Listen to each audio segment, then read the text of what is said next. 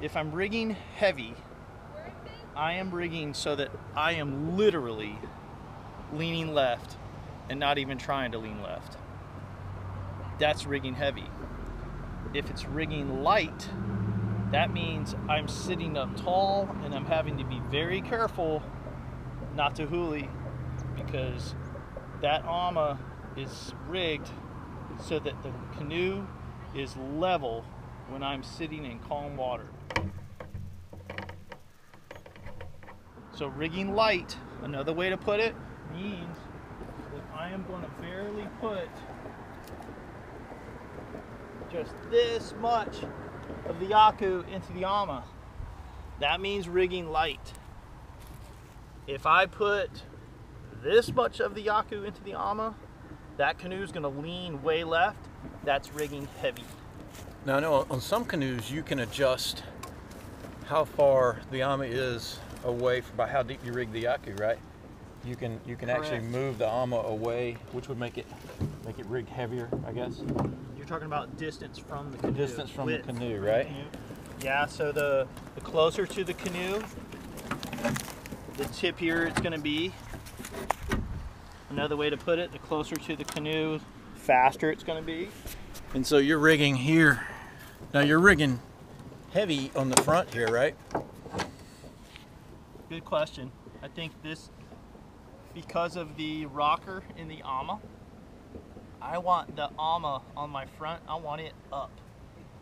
Personally, I do that because I don't want it biting into a wave when I'm in the ocean. Right. To me, the, the weight, heavy or light, has more to do with how I rig in the back. Okay. At least that's what I'm learning. So if I were to stop here and tighten this down, that would be rigged extremely light. Um, I have found for me, with my body weight, if I rig it right there to where I put my tape, when I sit in the canoe in flat, calm water and I'm just sitting up, good balance, my canoe is level. The canoe and the ama are level. So if I were to put this iako all the way down inside the ama, all the way up to this point, that would be rigging heavy.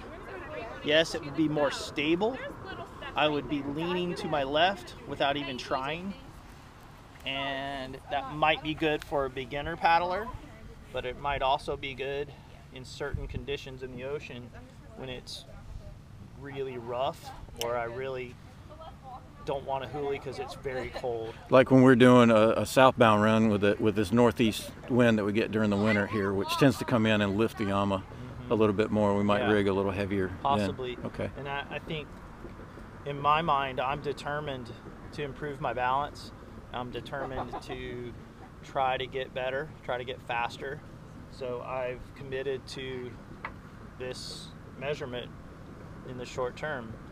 You know, who knows? Maybe maybe it changes after another year of experience. Right. Yeah, Well, maybe that's something for us to test one day. true. How fast is a canoe rig Yeah, heavy versus rig because light? there's a trade-off. If you're constantly fighting for your balance, you're not going to be able to put a whole lot of power on that paddle, and that's going to slow you down.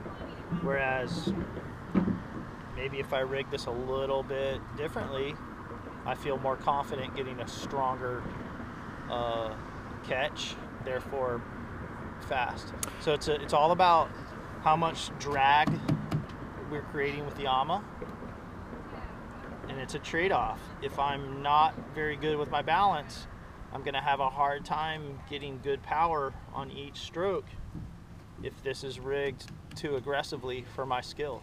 And, and sometimes it can be. I think I've told you before. We we've done some power testing with uh, with racing bikes with with tri bikes, and found that seat height difference of just a couple of millimeters can make a 10% difference in power output over a long term. Yeah, so it's probably sense. similar here too. That just a couple of Yeah. you know, small amount can make a, a big change.